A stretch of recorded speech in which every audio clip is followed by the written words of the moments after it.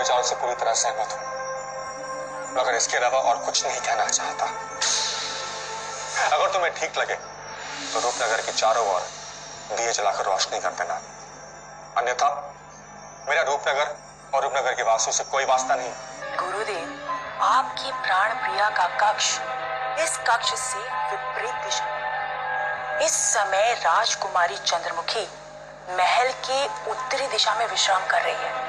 और हम दक्षिणी दिशा में। सुंदर। अति सुंदर। आप साक्षात यमराज के सगे भाई लगते हैं, महामहिम।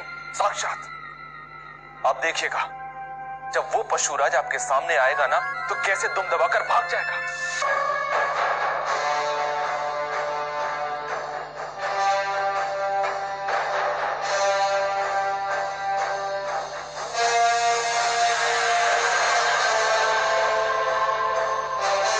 सब बता दो, सब बता दो, पहले इस तलवार को हटाइए। मैं उस विचित्र मनुष्य की बात कर रहा हूँ, महामहिम, जिसने बड़े बड़े महारथियों को बड़े बड़े महारथियों को धूल चटा दी थी, जिसने बड़े बड़े योद्धाओं को अपना दास बना लिया था, महामहिम।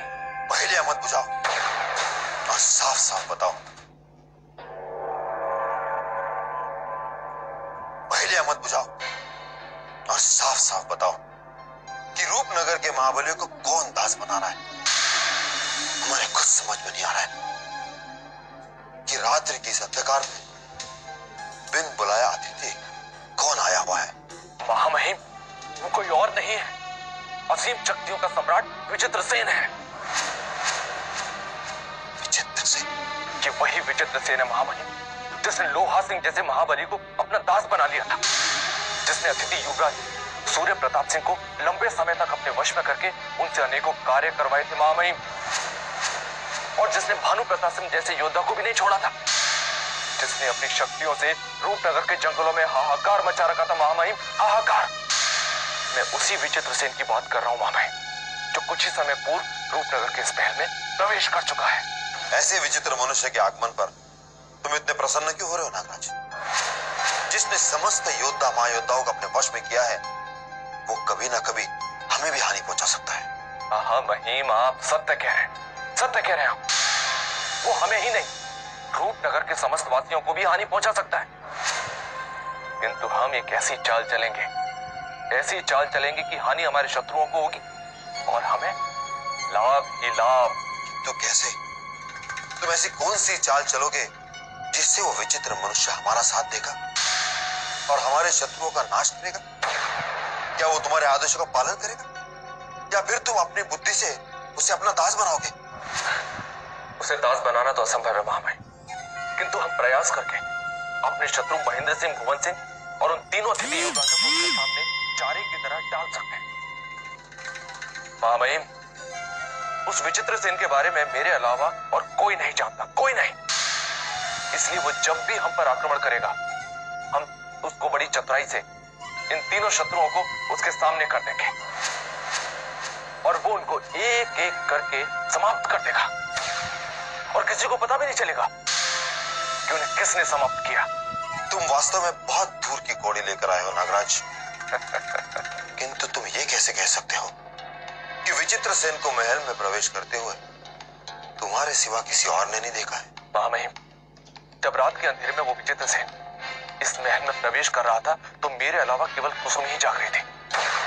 किंतु संयोग से वो उसे देख नहीं पाई। मैं अभी अभी उससे बात करके आ उसकी बातों से मुझे अंदाज़ा हो गया है कि वो विचित्र सेन को पहचान नहीं पाई है महामहिम यदि कुसुमी उसे पहचान जाती तो अब तक महल में भूचाल आ जाता। क्योंकि वो तत्काल ये सूचना राजकुमारी तक पहुँचा देती। किंतु हमारे समझ में ये नहीं आ रहा है कि विचित्र सेन महल में प्रवेश करने में सफल कैसे हुआ। इस महल में ऐसा कोई व्यक्ति है जिसने विचित्र सेन की सहायता की है। यही प्रश्न तो मुझे भी खाए जा रहे महामहिम उस विचित्र सेन के बारे में तो हम कभी भी जान लेंगे कभी भी।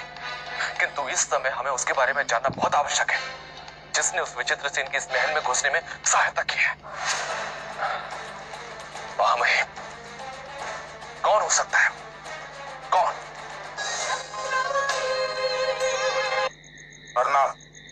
प्रणाम देखो इस तरफ़ कोई भी ना आने पाए ये राजकुमारी चंद्रमुखी जी का आदेश और यदि आदेश का पालन नहीं हुआ तो तुम्हें मृत्यु दंड भी मिल सकता है। हम आपके आज्ञा का पालन करेंगे। बेहतर। चंद्रमुखी हम तुम्हारे बहुत ही निकट आ गए हैं। बहुत ही निकट। मिलेंगे। मिलेंगे। शीघ्र ही मिलेंगे। गुरुदेव हाँ। भोजन तैयार है। आप भोजन के लिए स्थान ग्रहण कीजिए। हम प्रसन्न हुए। हम तुम्हारी सेवाओं से अत्यंत ही संतुष्ट हैं कुसुमी। तुमने कदम कदम पर हमारा साथ देकर हमारा मन जीत लिया है। विश्वास करो हमारा उद्देश्य पूर्ण होते ही हम तुम्हें तुम्हारी स्वामी भक्ति का उचित उपहार देंगे। तुम्हारे इस नश्वर शरीर को हीरे जवाहरातों के गहनों से लाद देंगे। हाँ और एक विशेष उपहार हमने तुम्हारे लिए सोच रखा है, और वो ये कि रूपनगर के एक समृद्ध गाँव को जागीर के रूप में हम तुम्हें भेंट कर देंगे। गुरुदेव, कुसुमी धन की लोभी नहीं है। बस आपका कार्य संपूर्ण हो जाए तो हमें संसार के सारे सुख अपने आप ही मिल जाए किंतु गुरुदेव, आप जब से यहाँ पधारे हैं, हमारे मन में एक प्रश्न रह रहकर उमड़ रहा है। अगर आपकी आज्ञा हो तो क्या हम आपसे वो प्रश्न पूछ सकते हैं? प्रश्न? कैसा प्रश्न? पूछो।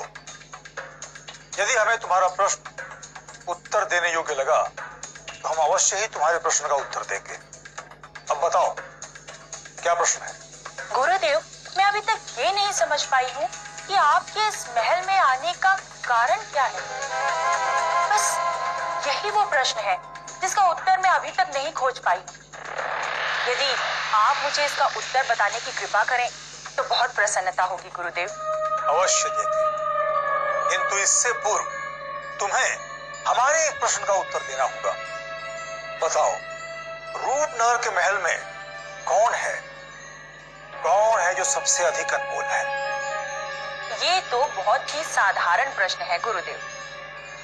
सारा संसार जानता है कि यदि रूपनगर के महल में सबसे अनमोल कोई है तो वो राजकुमारी चंद्रमुखी ही है जिसे समस्त राजा महाराजा प्राप्त करना चाहते हैं। हम्म, ठीक पहचाना तुमने। बिल्कुल ठीक पहचाना तुमने। हम उसी हीरे को प्राप्त करने के लिए रूपनगर के इस महल में पधारे हैं, जिसे प्राप्त करने का स्वप्न संपूर्ण संसार के सभी मूर्ख राजा महाराजा देख रहे हैं। परंतु वो मूर्ख ये नहीं जानते कि राजकुमारी चंद्रमुखी नाम के कोहिनूर पर केवल हमारा नाम लिखा है। केवल हमारा। अब तो तुम भली भात परिचित हो गई होगी कि हम किस उद्देश्य से इस महल में पधारे हैं। समझ गई गुरुदेव। किंतु ये नहीं समझ पा रही हूँ कि उस हीरे को लेने के लिए आप अकेले कैसे चले आए? गुरुदेव राजकुमारी चंद्रमुखी के पास समस्त रूपनगर की सेना है। फिर आप पूरी सेना और युवराजों के हाथों से छीनकर उन्हें अकेले कैसे ले जा पाएँगे? ये सोचना तुम्हारा कार्य नहीं है कुसुमी। हमारा है। क्या तुम भूल गई कि तुम्हारे गुरुदेव कितनी विचित्र शक्तियों के स्वामी हैं? यदि हम चाहें तो अपनी शक्तियों के बल पर इस संपूर्ण संसार के एक छत्र सम्राट बनकर शासन कर सकते हैं। रूपनगर राज्य की बिसाती क्या है? किंतु तुमने तुमने अपने गुरुदेव को इतना निर्बल समझकर ऐसा प्रश्न पूछने का दुस्साहस कैसे किया? क्षमा कीजिए, गुरुदेव। मैं आपको निर्बल समझने की भूल कभी नहीं कर सकती। मुझे आपकी अपार शक्तियों पर पूर्ण विश्वास है। और आपके इस उत्तर ने मुझे और भी संतुष्ट कर दिया है। अब मैं आपसे कभी कोई प्रश्न नहीं पूछूँगी। केवल आपके आदेशों का पूर्ण स्वामी भक्ति के साथ पालन करूँगी। हम प्रसन्न हुए। और वैसे भी हम यहाँ अकेले नहीं हैं। तुम तुम सदैव ही हमारे साथ हो। और हमें आशा ही नहीं, बल्कि पूर्ण विश्वास है कि तुम अपनी अंतिम सांस तक हमारा साथ दोगी। कहते हैं ना, एक से भले दो होते हैं। और इसीलिए हम अब निश्चिंत हो गए हैं, हमें किसी प्रकार की कोई भी चिंता नहीं है। आप ठीक कह रहे हैं, गुरुदेव। किंतु मेरा मानना है कि एक और एक ग्यारह भी हो सकते हैं। अब मुझे आपका लक्ष्य ज़्यादा दूर नहीं दिखाई दे रहा है गुरुदेव यदि राजकुमारी चंद्रमुखी की मांग में सिंदूर भरना लिखा है तो वो सिंदूर आपके ही नाम का होगा। ये मेरा अटल विश्वास है। कुसुमी, तुम मात्र सुंदर ही नहीं हो, बल्कि समझदार भी हो। और इसीलिए अब तत्काल हमें यह बता दो कि कल प्रातः सूर्योदय होने के पश्चात राजकुमारी चंद्रमुखी पहला कार्य क्या करेगी? चूँकि तुम उनकी प्रधान सेविका हो, इसलिए उनके प्रत्येक कार्यकलापों का तुम्हें ज्ञान होगा। गुरुदेव, कल सूर्य उदय होते ही राजकुमारी चंद्रमुखी दैत्य सम्राट वनराज से मिलने पुराने महल जाएँगे।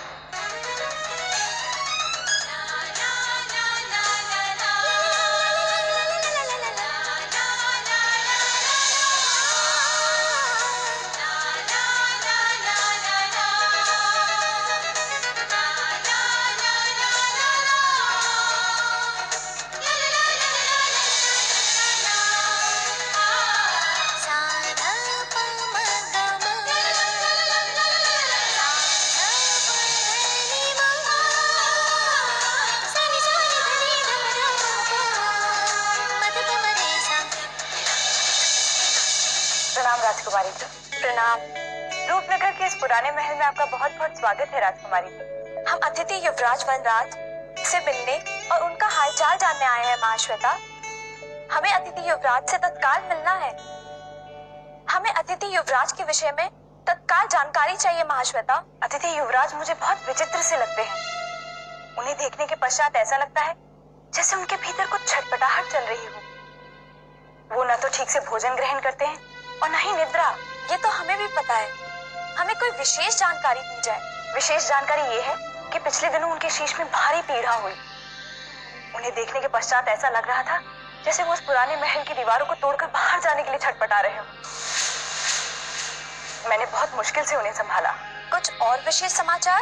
उन्होंने आने वाली अमावस की रात्रि को रूपनगर व रूपनगर के समस्त महलों में दिए जलाकर रखने की चेतावनी दी है। और साथ ही ये भी कहा है कि कहीं अगर अंधकार रह गया तो समस्त रूपनगर सदैव सदैव के लिए अंधकार में डूब जाएगा। ये समाचार तो हमें भी पता है। इसके अलावा क्या तुम्हें पता चला अतिथि युवराज का रूपनगर में आने का क्या उद्देश्य है? नहीं मैंने बहुत जानने का प्रयास किया। किंतु युवराज के मुख से मैं कोई भी रहस्य नहीं उगलवा सकी जिसे मैं आपके प्रश्न का उत्तर दे सकूँ। जो रहस्य तुम नहीं जान पाए उसे हम उगलवाएँगे। इस समय अतिथि युवराज कहाँ है? इस समय वो अपने कक्ष में विश्राम कर रहे हैं। मैं आपको वहीं ले चलती हूँ। चलिए राजकुमारी।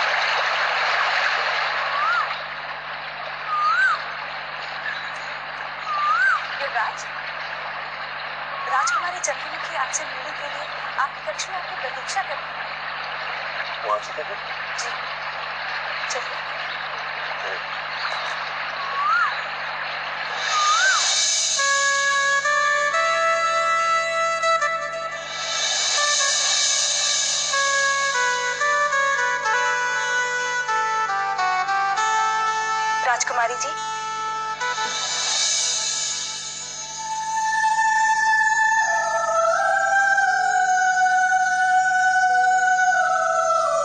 अतिथि युवराज यही है रूपनगर की राजकुमारी चंद्रमुखी जी। आपसे भेंट करने आई जैसे सुना था। आप उससे भी अधिक सुंदर है राजकुमारी। हम आपका स्वागत स्वागत तो हम आपका करने आए हैं अतिथि युवराज। राजकार्य में अति व्यस्त होने के कारण हम थोड़ा विलंब हो गए। अन्यथा, हम आपसे पहले ही भेंट कर लेते युवराज। इसके लिए हम आपसे क्षमा चाहते हैं युवराज। क्षमा मांग कर लचक मत कीजिए राजकुमारी। आप जैसी महान राजकुमारी का व्यस्त होना कोई बड़ी बात नहीं है। हमें आपसे मिलकर बहुत प्रसन्नता हुई। अब हमारा लक्ष्य बहुत समीप दिखाई दे रहा है। क्योंकि ये कठिन और लंबी यात्रा के पश्चात हम आपसे मिलने में सफल हो गए। अतिथि युवराज का लक्ष्य क्या है? आज ये जानने का अवसर मिल गया है। देखते हैं ये क्या प्राप्त करने आए हैं। आप क्या सोच रहे हैं राजकुमारी? क्या हम जान सकते हैं? हम आपके लक्ष्य के बारे में सोच रहे थे युवराज। यदि आपत्ति ना हो तो आप अपने लक्ष्य के बारे में बताने का कष्ट करेंगे। हम भी आपके लक्ष्य प्राप्ति में योगदान देना चाहते हैं युवराज। हमें बहुत प्रसन्नता हो।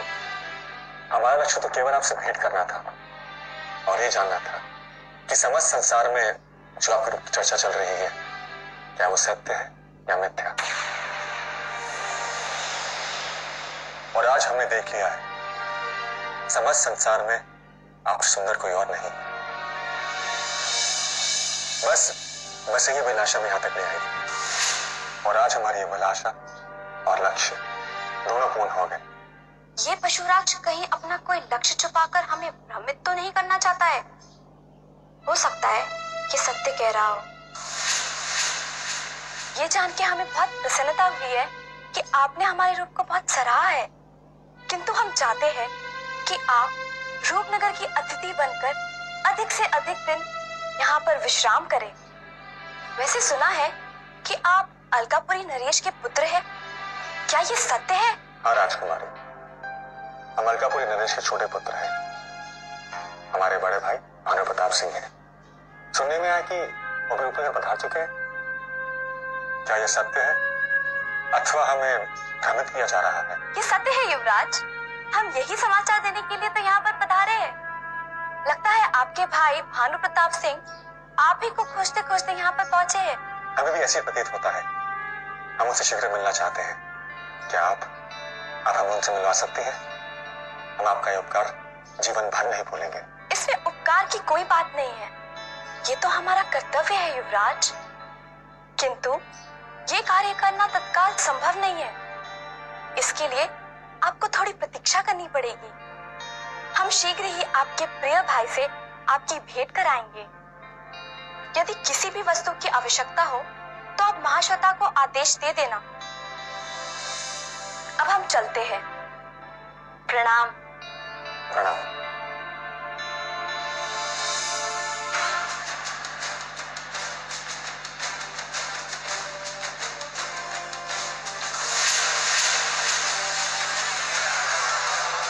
जी आप आप ही के कक्ष में आ रहे थे। आपको एक शुभ समाचार सुनाना था। आपके मुँह में घी शक्कर महेंद्र सिंह जी। बहुत वर्ष बीत गए हैं। हमें कोई शुभ समाचार नहीं मिला। शीघ्र बताइए क्या शुभ समाचार है? राजकुमारी चंद्रमुखी आपके कक्ष में आ रही है। आपसे भेंट करने सच? नहीं। क्या हुआ? क्या आप राजकुमारी चंद्रमुखी से भेंट करना नहीं चाहते? भेंट तो हम करना चाहते हैं महेंद्र सिंह जी। किंतु पहली भेंट बहुत महत्वपूर्ण होती है। यदि राजकुमारी चंद्रमुखी ने पहली बार हमें इस बड़े पुराने हाल में देखा। तो ये कभी नहीं समझेगी मलकापुरी के इकलौते युवराज हैं। बल्कि उन्हें ऐसा प्रतीत होगा कि हम उस युवराज के तुच्छ सेवक हैं? यदि हम मलकापुरी में होते तो हम अपने सबसे अच्छे वस्त्र जिन पे हीरे चारा जड़े होते उन्हें पहन कर राजकुमारी चंद्रमुखी का स्वागत करते। किंतु हम रूपनगर में हैं और हमारे पास इसके अलावा और कुछ नहीं। आप इसकी चिंता मत कीजिए। आपके कक्ष में नए वस्त्र पहुँच जाएँगे। महेंद्र सिंह जी जब भी आप मिलते हैं कुछ अच्छा समाचार देते हैं। आप हमारे लिए बहुत प्रिय हैं। आपका दिल हमारी तरह बहुत बड़ा है। और आपकी मछलियाँ भी हमारी तरह तड़पती है। अब हम अपने कक्ष में जा रहे हैं। शीघ्र हमारे कक्ष में भेज देना।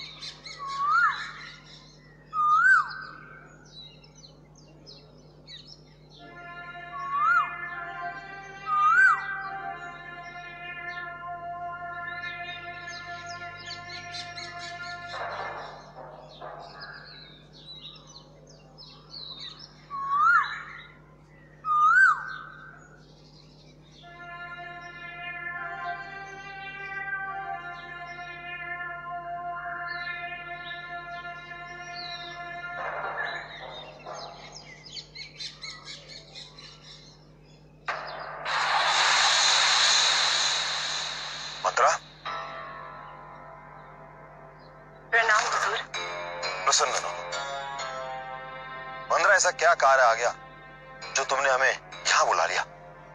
हम महल के सारे कार्य छोड़कर तुमसे यहाँ भेंट करने आए हैं। बात ही कुछ ऐसी है हुजूर जिसे मैं महल की दीवारों के सामने नहीं बता सकती थी। आज मैं आपको ऐसी सूचना देने वाली हूँ जिसे सुनकर आपके पैरों के नीचे से धरती खिसक जाएगी। पैरों तले धरती खिसक जाएगी? शीघ्र बताओ मंद्रा क्या सूचना लाई हो?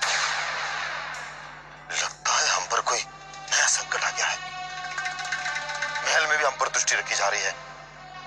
अब ऐसा ना हो कि जंगल के मार्ग भी हमारे लिए बंद हो जाए। मेरे होते हुए आप इतनी चिंता मत कीजिए माँ भाई।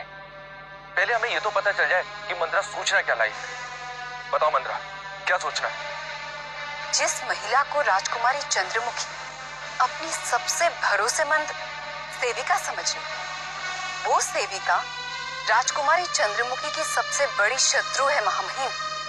कुसुमी राजकुमारी चंद्रमुखी के साथ विश्वासघात कर रही है। ये तुम क्या कह रही हो मंत्रा? कुसुमी कभी राजकुमारी चंद्रमुखी के साथ विश्वासघात नहीं कर सकती। अवश्य तुमसे कोई भूल हो रही है। यही तो मैं भी कहना चाहता हूँ मामे जो कुसुमी सदा सदा राजकुमारी चंद्रमुखी के लिए अपने प्राण देने की बात करती रहती है वो उनके साथ विश्वासघात कैसे कर सकती है?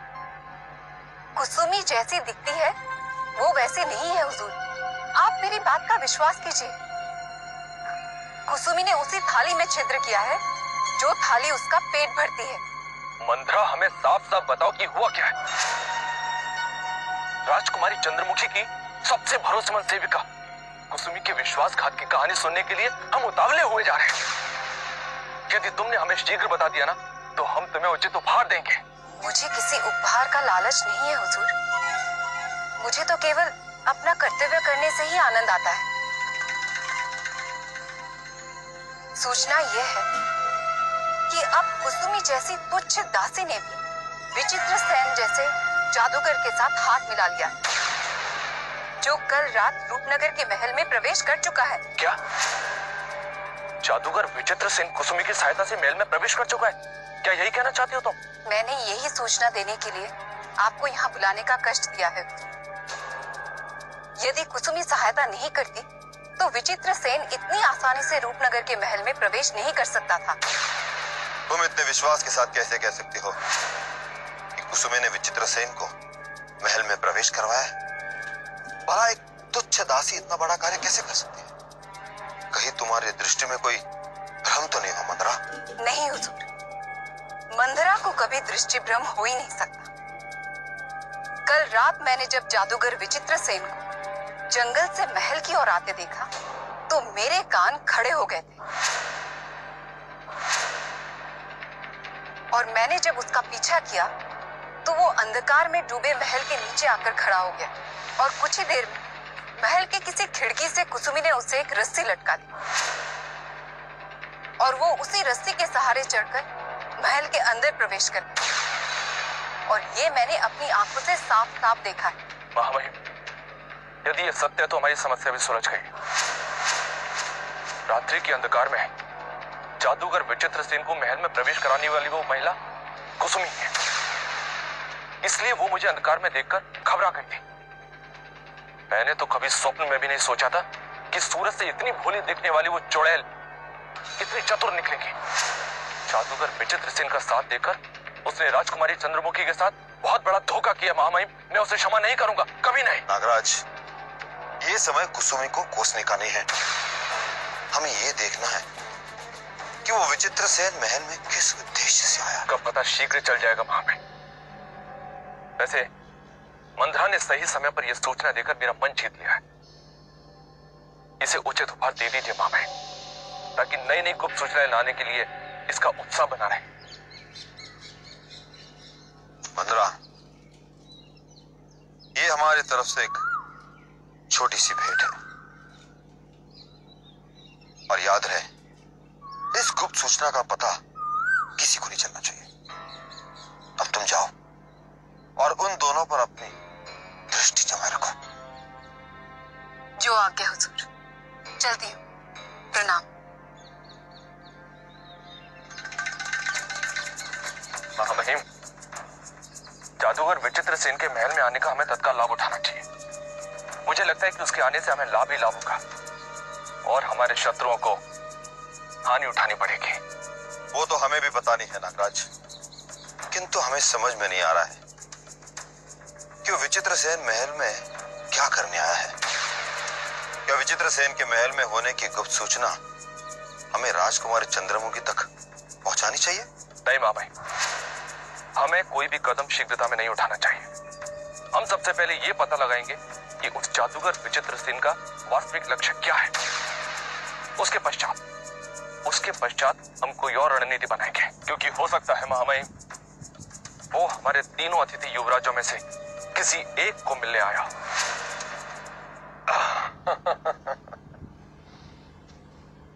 देखा?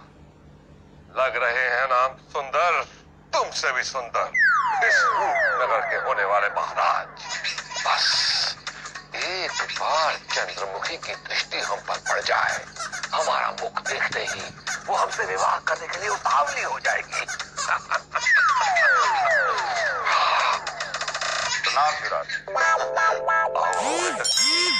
राजकुमारी चंद्रमुखी आ रही है ना? हाँ? ये कौन है? ये है रूपनगर प्रमुख सलाहकार श्री भवन सिंह। प्रणाम प्रणाम। किंतु महेंद्र सिंह जी आपने तो कहा था कि हमसे मिलने स्वयं राजकुमारी चंद्रमुखी जी आ रही। फिर ये क्यों? भानु प्रताप जी राजकुमारी जी अभी अभी कहीं से वापस लौटी हैं इसलिए वो विश्राम कर रही हैं। इसके पश्चात वो आपसे अवश्य भेंट करेंगी। ओह, और प्रतीक्षा हमने तो सोचा था कि राजकुमारी चंद्रमुखी को देखते ही हम उनसे विवाह कर लेंगे और उन्हें अपने राज्य अलकापुरी शीघ्र ले जाएँगे। राजकुमारी से विवाह करने के लिए तो संसार के समस्त युवराज पल के बिछाए बैठे हैं। जिनमें से तो दो युवराज रूपनगर महल में पहुँच भी गए। क्या? वो युवराज यहाँ बैठे हैं? कौन है वो? शीघ्र बताइए। राजमहल में कहा चिपके बैठे हैं वो दोनों? एक युवराज तो इसी महल में विश्राम कर रहे हैं। जिसका नाम है सूर्य प्रताप सिंह जिससे आपकी भेंट हो चुकी है। दूसरा अभी तो और कोई नहीं आपका छोटा भाई वनराज जिसे हमने दूसरे महल में ठहराया है। नाम मत लीजिए। हमारे उस सौतेले भाई वनराज का जब से उसने धरती पर जन्म लिया है। अलकापुरी ही नहीं समस्त संसार में अब चगुन पे अब चगुन होते जा रहा है।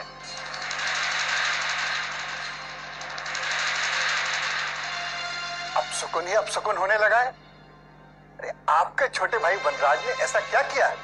जो सारे संसार में अब सुकुन होने लगा है। बताते हैं। सब कुछ बताते हैं। हमारे सौतेले छोटे भाई वनराज ने पैदा होते ही हमारे पिताश्री की दृष्टि छीन ली और तो और जिस अलकापुरी में उसके पैदा होने से पहले दूध की नदियाँ बहती थी उसके पैदा होने के बाद वहाँ के लोग एक बूंद पानी के लिए भी तरसने लगे हैं बड़े आश्चर्य की बात है कोई जन्म लेते ही इतने बड़े बड़े अनर्थ कैसे कर सकता है कहीं आपके भाई वनराज पर अध्यत्व शक्ति का वास तो नहीं है। उस पापी पर दैत्य शक्तियों की छाया है। वो जहाँ भी जाएगा अब शगुन पे अब शगुन होता रहेगा। इसीलिए उसे अपने राज्य से बाहर निकाल दो। अन्यथा आपका ये सुंदर रूपनगर एक शमशान बन जाएगा। हमें भी आपके भाई के बारे में गुप्त सूचनाएँ मिली है। क्या ये सत्य है? अमावस की रात को वो एक भयानक पशु बन जाता है। और किसी भी मनुष्य का वध कर देता है। मनुष्य ही नहीं उस रात यदि कोई भी प्राणी उसके सामने आ जाएगा तो वो उसे मारने की क्षमता रखता है। यदि दस दस हाथी भी उसके सामने आ जाएँ, तो वो उन्हें भी समाप्त कर देगा। इसीलिए उसे देश निकाला देना पड़ा। देश निकालने का दंड दिया? वनराज जी को देश निकालने का दंड किसने दिया? ये बात हमारी समझ में नहीं आई।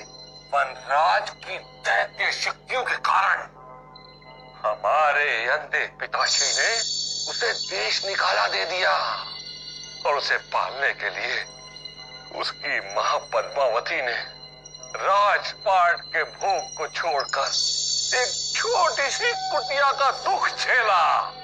लेकिन इस पापी को देखो, उसने अपनी बूढ़ी माँ को वहाँ अकेला छोड़कर यहाँ चला आया।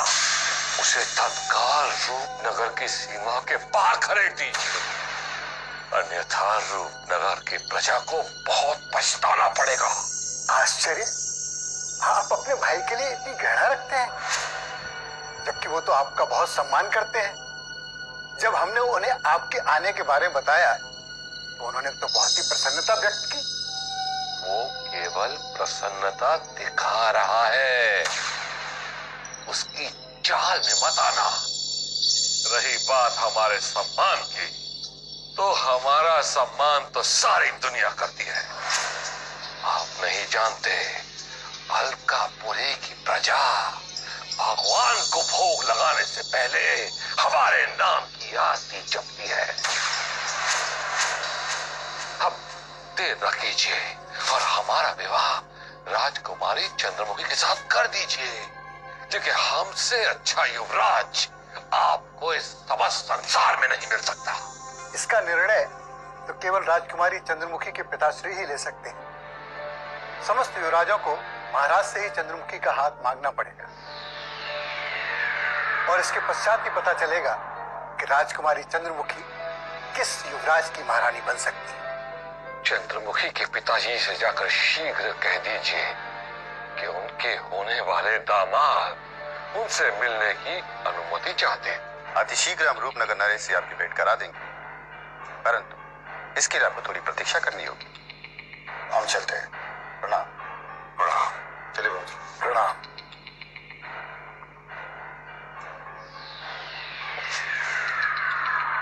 पता नहीं ये बूढ़े बूढ़े राजा मरते क्यों नहीं हैं? एक वहाँ हमारे अंधे पिताश्री हैं और एक यहाँ चंद्रमुखी के पिताश्री हैं। यदि हमारा बस चलता तो हम उन दोनों को मारकर तुम्हारी तरह पुतला बना देते। पता नहीं, हमारा विवाह चंद्रमुखी के साथ कब होगा?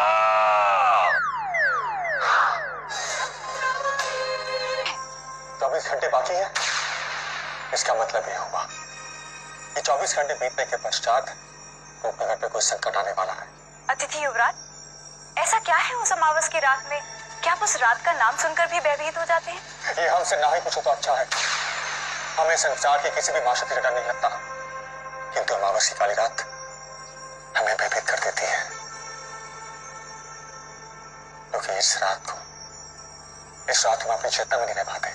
इसका तात्पर्य हुआ आप पर किसी अमावस्या की काली रात का प्रकोप है? लगता है अमावस्या की किसी काली रात की छाया पड़ गई है आप पर। ये तो ईश्वर ही जाने। किंतु मैं तो उतना ही जानता हूँ कि अमावस की काली रात मेरे पीछे किसी अभिशाप की तरह पड़ी हुई है। वैसे अमावस की काली रात से पीछे छुड़वाने का हम अनेक प्रयत्न कर चुके हैं। किंतु पता नहीं पता नहीं क्यों ये रात हमारा पीछा ही नहीं छोड़ती। आपके समस्त कष्ट दूर हो जाएँगे युवराज। इस समय आप राजकुमारी चंद्रमुखी जी के राज्य में हैं, जहाँ आपका कोई कुछ नहीं बिगाड़ सकता। कदाचित आप ये नहीं जानते कि रूपनगर के इस पुराने महल की दीवारों को पार करके जब सूर्य की किरणें यहाँ नहीं आ सकती तो अमावस की काली रात्रि क्या बिगाड़ सकती है? तुमने अभी किसी अमावस की काली रात के प्रकोप नहीं देखा। इसलिए ऐसे कर रही यदि तुमने वो प्रकोप अपने नेत्रों से देखा होता तो ऐसे कदापि नहीं कहती। जो रात मुझे अपने वश में रहने देती जो रात मेरा अस्तित्व समाप्त कर देती है। उस रात को इतना निर्बल मत समझो। अन्यथा अपने जीवन को नष्ट कर बैठोगी। क्षमा कीजिए युवराज। यदि आपके प्राणों की रक्षा करते करते मेरा जीवन समाप्त भी हो गया तो मुझे अत्यधिक प्रसन्नता होगी क्योंकि रूपनगर में आए हुए किसी भी अतिथि पर अपने प्राणों को न्यौछावर करना यहाँ के लोगों की परंपरा है। मुझे रूपनगर की परंपरा से कुछ लेना देना नहीं। तो भी मैं कह रहा हूँ उसे ध्यान से सुनो। मेरे चारों ओर धीमे अंधेराने होना चाहिए। हर तरफ़ नहीं जलाकर इस महल के साथ साथ रूपनगर के महल भी दिए जले होने चाहिए। वरना वरना अनर्थ हो जाएगा। आपके समस्त आदेशों का पालन होगा युवराज। आप शांत रहिए। मैं तत्काल ही आपका संदेशा रूपनगर के अधिकारियों तक पहुँचा देती यदि तुमने हमारा संदेशा रूपनगर के अधिकारियों तक पहुँचा दिया। और उन्होंने उन्होंने उसका पालन कर लिया। तो अमावस की काली रात। चाहते भी किसी को कुछ नहीं बिगाड़ पाएगी अब तुम जाओ और हमें अमावस की रात के समाप्त होने के पश्चात ही मिलना जाओ हमें अकेला छोड़ दो जाओ ये कैसे संभव होगा युवराज? यदि मैं आपको इस महल में अकेला छोड़कर चली गई तो आपकी सेवा में कौन रहेगा? तुम मेरी नहीं। अपने और अपने राज्य की चिंता करो। अगर तुम भूल से भी अमावस की रात्रि को मेरे सामने आते तो तुम्हें अनर्थ के सिवाय और कुछ नहीं मिलेगा। अब जाओ। और तत्काल जाकर रूपनगर के महल में कह दो कि अमावस की काली रात को कोई मेरे सामने आने का साहस ना करे।